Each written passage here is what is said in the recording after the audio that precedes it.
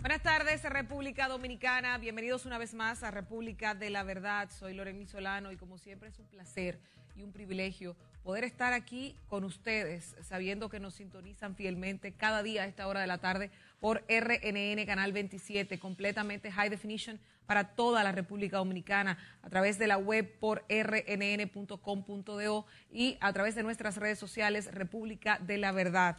Hoy, viernes 4 de enero de 2019, caramba, viva ahí con el 18, 2019, les damos a ustedes una calurosa bienvenida, iniciando con eh, realmente eh, noticias no tan halagüeñas. Realmente esta, esta semana, a pesar de todas las cosas que hemos venido tratando y buscándole la vuelta o la forma positiva a muchos de los temas, el miércoles pasado hablábamos de eh, la situación de rabia o el supuesto brote de rabia que está dando en el país, en la provincia de Pedernales, y que ha llevado a muchas personas a envenenar a los animalitos callejeros, a arremeter contra la vida de estos, eh, siendo eh, víctimas muchos inocentes que no contraen, que no tienen este virus. Y es importante decirlo, puesto que la rabia se, se puede contraer de un murciélago, de un roedor que deposite saliva en alguna cercanía donde el animal, el canino, el perro, tenga eh, relación.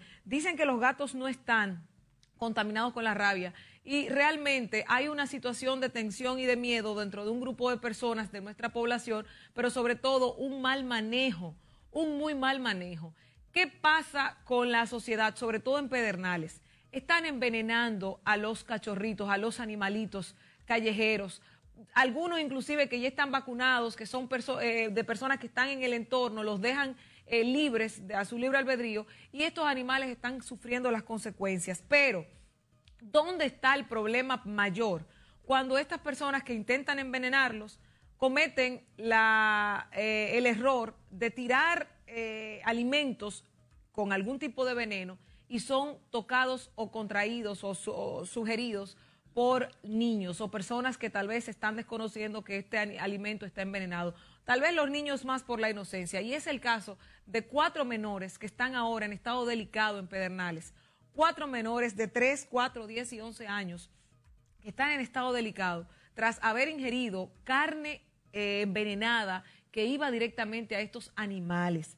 Hablan de cuatro hermanitos de origen dominico haitiano que fueron intoxicados al comer una carne que supuestamente habían encontrado en los alrededores del sector Los Altagracianos del municipio.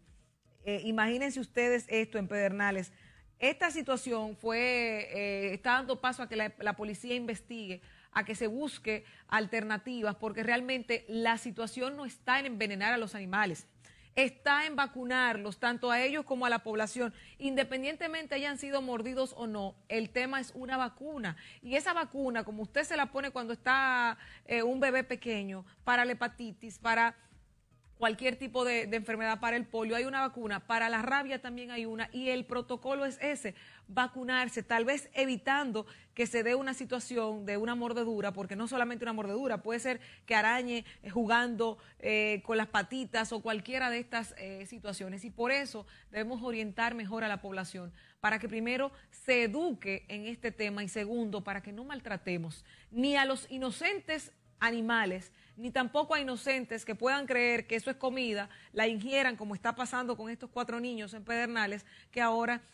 están en una situación delicada y que nosotros daremos seguimiento para ver cómo, cómo termina esto. Realmente la sociedad de animalistas, de protectores de los animales, está muy indignada por la, la, forma en que se ha manejado este tema y no es para menos porque ciertamente estamos viendo cómo quienes están pagando la situación de una ley que no se está cumpliendo, la ley 248-12, la están pagando los menos eh, culpables, que son los animales, porque no existe el protocolo correcto o no se está fomentando esa educación hacia ese protocolo de cómo manejarse ante una mordedura de un animal contagiado o infectado de rabia, que no siempre, y lo digo, lo aclaro, no siempre que esté, eh, que haya sido mordido significa que tiene rabia. Y eh, este miércoles en la noche nos enteramos de una situación que al parecer en el país todavía no le hemos podido erradicar y es eh, y al parecer tampoco se va a dar. Murió una joven de 27 años, Julia Arias. Ella eh, se sometió a unos procesos quirúrgicos eh, no sé para qué. Miren esa muchacha qué bella es, porque de verdad la encuentro muy bella. Y ella se sometió a varios procedimientos quirúrgicos la noche del miércoles o el miércoles en el día y en la noche falleció.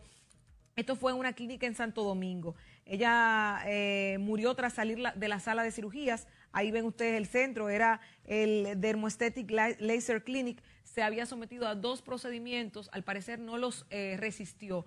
¿Cuál fue la situación? Tal vez una mala práctica, tal vez su cuerpo, su organismo no estaba preparado. Es importante decir que aunque todas las personas quieran someterse a algún proceso quirúrgico, yo no estoy en contra de eso, el que entienda que a través de un procedimiento estético va a encontrar mejor felicidad, pues bien que lo haga. Totalmente de acuerdo y cuando me toque lo haré. Pero saber en manos de quién nos ponemos y cuál es la orientación médica no todos los médicos operan a todas las personas porque le dicen, eso no le conviene, usted no tiene las condiciones de salud correctas, adecuadas, entre otras muchas cosas. Y por eso es importante primero analizar cuál fue la situación, porque si esta joven tuvo una mala práctica médica, pues ese centro debe pagar las consecuencias, aunque lamentablemente ya eh, perdió lo, más importante, que era la vida.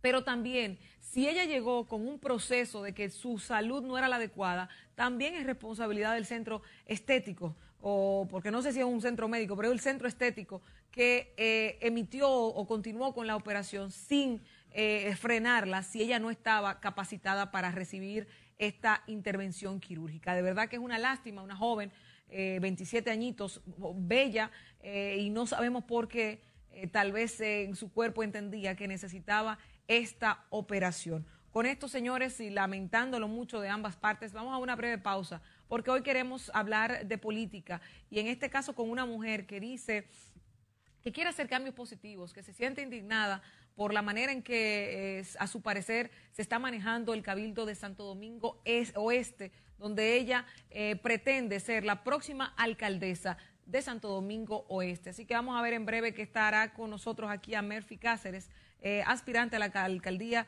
de Santo Domingo Oeste por eh, el Partido Revolucionario Moderno. En breve aquí en República de la Verdad. No se muevan.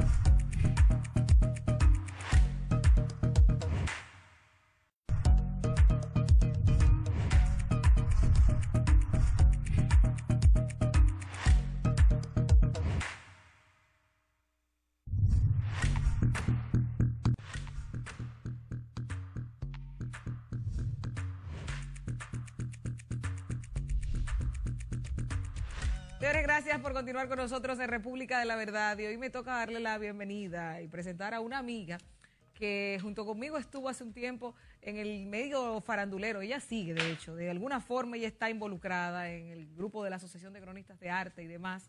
Pero al parecer le surgió la vena política, esa vena de servicio eh, al, pueblo y ha dicho no me voy a quedar callada. Pero sin embargo, tengo que decir que en las elecciones pasadas ella estuvo como vicealcaldesa aspirando a la vicealcaldía de la misma posición que ahora aspira para ser la primera, alcaldesa de Santo Domingo Oeste, la zona de donde yo me crié, mi barrio Herrera y demás. A Merfi Cáceres con nosotros, aspirante a la alcaldía de Santo Domingo Oeste por el PRM. Bienvenida, a Merfi. Muchas gracias, Loreni. estar aquí es como estar en... Una reunión de acroarte. Exacto.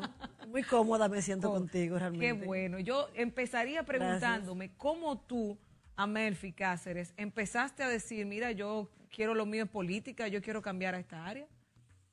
Eh, ¿Cómo yo empecé? Si me conoces hace mucho tiempo, sabes perfectamente que siempre he sido algo rebelde en ese sentido. Ah, sí. Como que no me acostumbro, no me, no me, no me rindo, no acepto. No, no, dice mucha gente, no, porque el que nunca tuvo una cosa no le hace falta. La gente vive en los callejones y no vive nunca en, calles limpias con contenes y eso no le hace falta. Yo no pienso igual. Yo entiendo que la gente merece mejor suerte. Entonces yo que conozco cómo vive la gente en otros lugares del, del mundo, entiendo que nosotros los dominicanos debemos, merecemos y tenemos cómo tener lo, y lograr una vida digna y dejar de que nuestros campesinos caminen en callejones de que sigan en, la palabra correcta ahí es, es, imporcándose, porque como puercos entre el lodo. Y no es justo, caramba. ¿En pleno año qué? 2019. 2019. No, no, eso no es posible. Es, yo, mira, Puerto Rico es un país que está tan cerca de nosotros. Cerquita, es una isla igual que nosotros. Posee el territorio más o menos, bueno, es, es prácticamente lo mismo. Y Puerto Rico, que no me diga nadie que es porque los Estados Unidos están ahí, porque si a eso vamos, aquí tenemos todo eso y más. Lo que pasa es que lo bueno de acá se va. Y aquí nos dejan, nos deja, nos deja lo malo. O sea, que te vi en algunos eh, videos eh, reclamando, o sea, miren esto, la gente, cómo estaba la posilga, la basura, el agua acumulada, sucia, entre otras cosas. Eh, ¿Por qué Santo Domingo Oeste y qué te dice tu partido de esas aspiraciones? ¿Por qué Santo Domingo Oeste? Porque ahí fue donde yo me crié. Yo nací en La, en la Vega y apenas con unos siete, ocho o nueve años, nunca recuerdo bien, pero fue pequeñita, nos trajeron nuestros padres a vivir a Las Caobas, que era un lugar realmente hermoso, era eh, alumbrado, eh, de lejos tú veías Las Caobas como se ve de lejos cuando está en buenas, el Estadio Quisqueya, con muchas luces y luego hicieron los que es la, Galaxia, el Olimpo, y fueron creando, eh, eh, fabricando y construyendo los bancos, ciertos residenciales también bonitos, en donde vivían pues otra clase de gente porque eran personas que compraban a los bancos. Las caobas fue una donación que hizo el doctor Joaquín Balaguer y Mario Moreno Cantinflas a las personas que vivían en la Ciénega y en Lancón. Pues mi padre fue el primero que compró en las caobas, en me imagino que algún hermano mío, mi hermano mayor, Aridio, fue quien mostró ese lugar tan bello, lindísima, las caobas. Y, es mi zona, siempre he estado ahí. ¿Quieres defender a esa gente? Es, donde me toca realmente, si defender, defendería el país completo. Claro. Pero políticamente hablando, pues es la zona donde me toca eh, aspirar. Claro, ¿qué te dice tu, tu partido? ¿Cómo está el apoyo de los dirigentes, las cabezas? De tu partido con relación a esta aspiración? Mira, más que mi partido, yo diría que la gente. Porque eh, lamentablemente yo soy poca política. En el sentido, eh, me dicen, no, tú no debes decir eso. Pero es que la política es algo muy bonito, es un arte, es una ciencia. Y como se está ejerciendo en nuestro país, lamentablemente no es la forma correcta. Entonces, eh, los dirigentes políticos no hacen la función que deben hacer en su gran mayoría. Y eso todo el mundo lo sabe. El que yo lo diga, bueno, me convierte quizás en, en ¿cómo te digo? En, Algo extraño. En, en porque no debería decirlo, pero realmente es lamentable, es así. Cuando te puedo decir que las, los, las mismas personas que deben ser eh, contrarias están de acuerdo.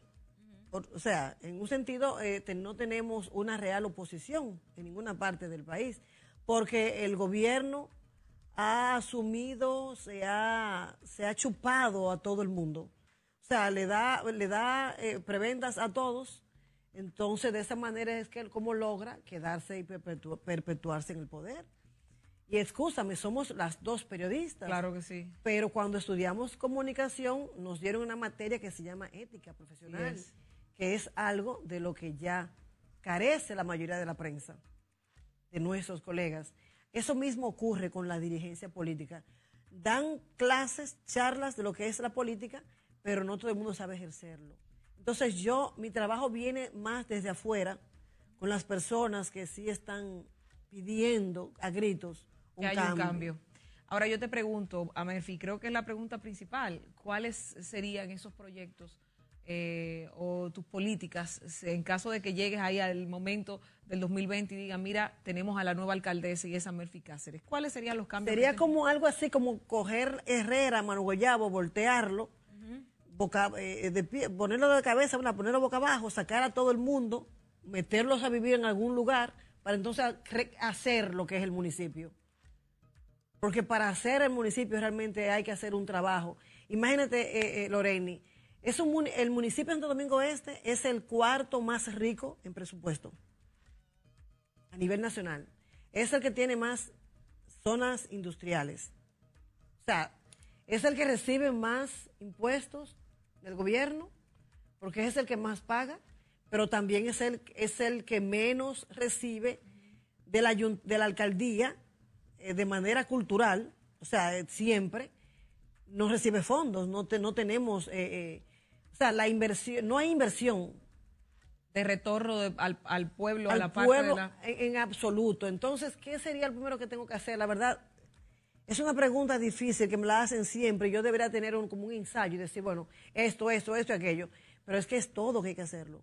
Hay que empezar de cero. Es que hay que empezar de cero. Tú sabes que tú tienes una situación ahí y que es muy claro mencionarlo porque hay una dinastía, no de los Rosarios, no. Está la dinastía Peña, que Ahora está el señor Francisco Peña, el alcalde, un alcalde muy popular, hay que decirlo, un alcalde muy popular, que tú lo ves brincando, bailando. Es el único, es el único alcalde que, hemos tenido. pero lo tuvo, pero tuvo su hijo, que fue un periodo, volvió su hijo. Ahora está el papá, pero según lo que tengo entendido, ya están ensayando la promoción del hijo.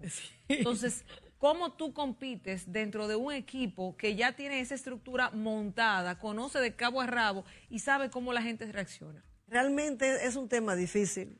Yo como mujer, persona que nunca ha estado en el gobierno, nunca he obtenido un cargo público, como bien dijiste, aspiré a la vicealcaldía, que realmente no la estaba buscando, fue de repente. Yo, te eligieron y te dijeron. Me fueron a buscar, ven, y yo con la esperanza de que íbamos a sacar a esa familia de nuestro municipio, ya por fin definitivamente, y poner a alguien a que, a que trabaje, que yo como vicealcaldesa, bueno, pero a, algo tendría yo algún poder para, para poder ejercer, ejecutar alguna que otra cosa, al lado del que iba como candidato a, entonces alcalde, que todo el mundo sabe que nos fue bien, pues ganamos. Que no estamos cobrando, como dicen, no estamos ejerciendo, no estamos, no estamos en la alcaldía porque todos sabemos qué ocurrió en las pasadas elecciones. A todo el mundo le fueron, le fueron eh, eh, quitadas sus sus candidaturas, nos, las robaron, las elecciones fueron robadas, todo aquí está ilegal. Pero bueno, eh, vamos a trabajar, la gente realmente no va a confiar, no confía más en esa familia. Hay muchas familias muy humildes que reciben un, bonito cada vez que él pasa por allá, le da, ahí está nuestro dinero, ¿eh? En 500, 300 pesos. Por eso es que tú ves que somos eh, un mercado. Santo Domingo Este completo es un mercado, es un mercado de pulgas desde, que tú entras hasta que sales del municipio. Entras por el 9, sales por el Sacarrizo y es todo un mercado de pulgas, lleno de, de, kiosquitos, pero por Dios, si no tenemos ni siquiera áreas verdes, todas las áreas verdes están ocupadas. Tal vez la gente desconoce de todos los derechos que tiene y de todo el potencial que tiene la zona de Santo Domingo. Por supuesto que lo desconoce. El, el municipio eh, herrereño, Santo Domingo, en, como se llame, no conoce, sus, no conoce, no saben. Porque las personas que viven mejor, que están en mejores sectores, no le dan la vuelta a, a sus entornos. Salen, por ejemplo, ¿no? Salen de Alameda, prolongación 27. de febrero, cogen a autopista Duarte. Siguen su como dirían los gringos, y anyway, no ven nada de lo que está alrededor. No saben lo que es San Miguel, no saben lo que es Bella Colina, no conocen un, un nuevo amanecer. ¿Tú conoces bien la zona de Santo Domingo yo conozco, Yo conozco bien, la, la empecé realmente a conocer cuando aspiré a una diputación, porque como tú sabrás, uno tiene padres, padres celosos, que te cuidan, que yo solamente iba al colegio, al Politécnico con las monjas, luego iba al Liceo de las Américas en Manu Guayabo. De hecho, muchas personas de, Santo Domingo dudan que yo sea de allá. Sí, pero yo misma, cuando me dijeron a Murphy, la, vez que tú estabas con Andújar, que estaba, digo, pero a Murphy es de esa zona, pero para mí a Murphy era de París o de, o de Inglaterra, por ahí. ese era... Eh, más bajito. Pero mucha gente, todavía dirigentes, dirigentes, hablan y saben que yo tenía aspiración hace años atrás. Y dicen, ¿y por qué tiene que venir una gente de fuera? Mira, señores, en la manzana 11, número 4A, las caobas, manzana 11, 4A, las caobas, frente a la 13, la 12 y la 14. Ahí vivía yo. Ajá, y tu... frente a Ninfa, Rafael Rubio, a doña Gladys Mirabal.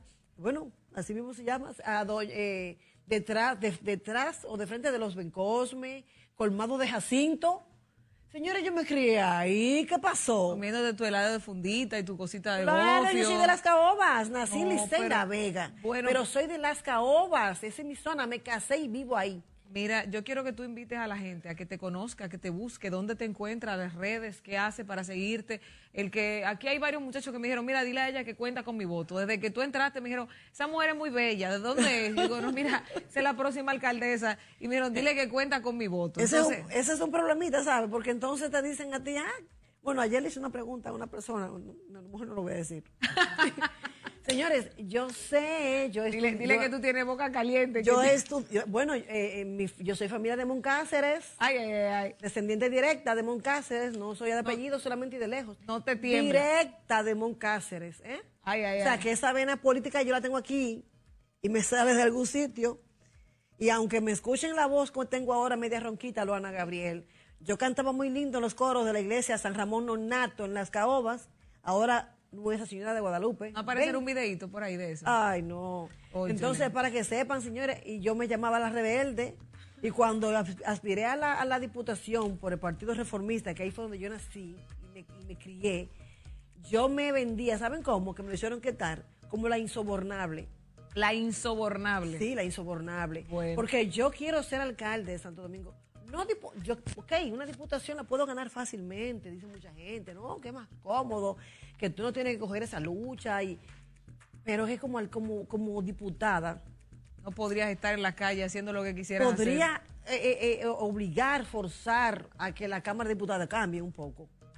Pero también entiendo que como alcaldesa tengo más de dónde sacar para hacer, para volver a tener áreas verdes porque no tenemos áreas verdes. Mira, la próxima entrevista que tú vengas, vamos a hablar de la ley de partidos y cómo beneficia a tus aspiraciones a Murphy. Y sobre todo de cómo se está comportando, cómo se va a comportar el Partido Revolucionario Moderno ante el reto que va a tener si se presenta una posible intentona de reelección. Pero eso lo vamos a dejar para luego porque lamentablemente se, nosotros se nos ha acabado el tiempo con esta mujer que nos ha dicho de todo aquí, a Murphy Cáceres, mírenla bien, por favor, mírenla bien. Con ese mismo nombre me consiguen en todos los A Murphy Cáceres, aspirante a la alcaldía de Santo Domingo Oeste, la zona de Herrera, donde yo estoy ahí, donde yo vivía ahí también, de ese lado. Con ustedes, gracias este viernes social para toda la República Dominicana que nos sintoniza, de verdad, muchísimas gracias. Nos vemos el lunes a la misma hora por aquí, por RNN Canal 27. Gracias.